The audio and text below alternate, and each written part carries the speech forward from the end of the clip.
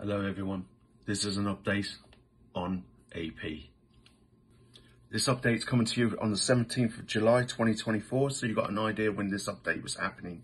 I did have a conversation with AP's son. So the latest update is that I'm getting at the moment, AP has been cremated. It's happened. Uh, and the family have the ashes.